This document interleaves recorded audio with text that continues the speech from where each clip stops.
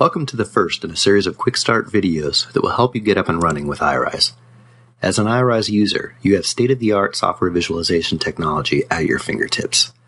In this first video, we'll guide you through a quick tour of the iRise Studio interface and introduce you to some of the most common tasks you'll perform in iRise. Let's get started. When you open iRise Studio, the welcome screen is the first thing you will see. In the welcome screen, you can create a new blank project, or you can open an existing project either with the Open a Project link or by selecting a project you recently had open in Studio. The links in the lower left corner lead to several learning resources, including the quick start videos you're viewing right now. If you don't want to see the welcome screen each time you open Studio, select the checkbox in the bottom left corner of the window and then close the welcome screen. If you change your mind, you can always access the welcome screen from the Studio Help menu.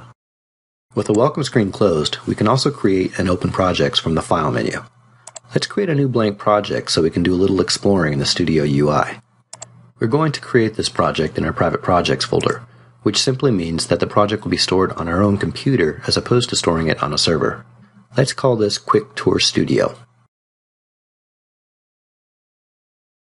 As you can see, the new project loads in our workspace ready for editing. Let's take a look at one more project management tool before we explore the workspace. If you expand the File menu, one of the options is the Organizer. The Organizer is a one-stop shop for nearly all of your project management tasks within iRise. The left pane will display all of the projects stored in your computer. If you connect to the server, the right pane will display projects stored on your Definition Center.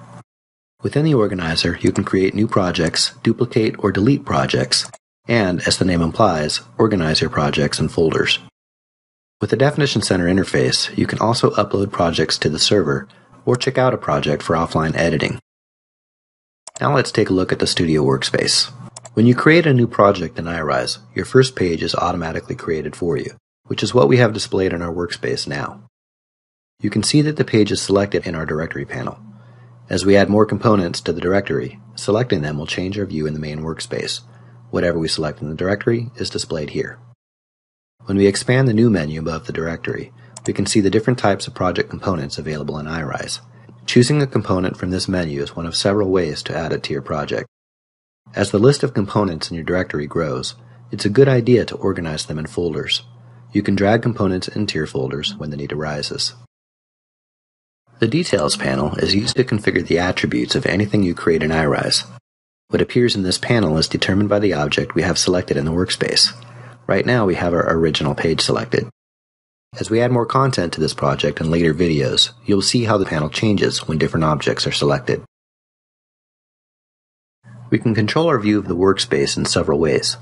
The scroll tool and the zoom tool enable us to pan and zoom in on the workspace, something to remember when we start adding content to our pages. You can also change your zoom level with the controls on the bottom right corner of the window, as well as the View menu.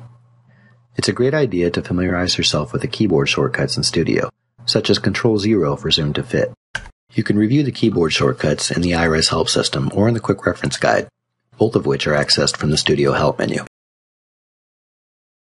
Last but not least, you can personalize the Studio workspace to suit your own preferences. You can increase the area that you have to work with by collapsing the directory and details panels. You can change the appearance of objects on your pages by displaying widget boundaries. And finally, you can accelerate alignment tasks by enabling grid lines and snap to grid, or by selecting auto alignment from the view menu. We hope you enjoyed this first of our quick start videos. With the remaining videos in the series, we'll focus in on some of the common tasks that you and your reviewers will perform in iRise. With each video you watch, you'll lay more groundwork for developing the confidence and skills to leverage iRise visualizations in all of your requirements definition projects. We'll see you soon.